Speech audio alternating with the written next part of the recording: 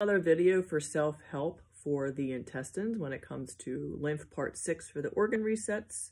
Uh, what you're going to do is lay on your back with your feet flat and your knees bent.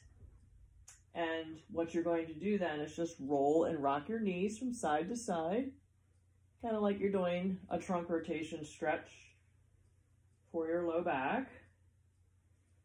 So you'll do that a couple times just to get things moving.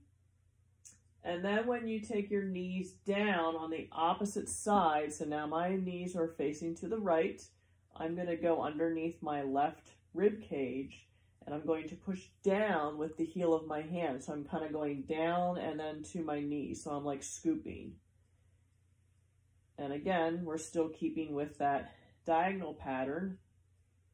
So left rib cage to right knee. And then I'll switch to the other side.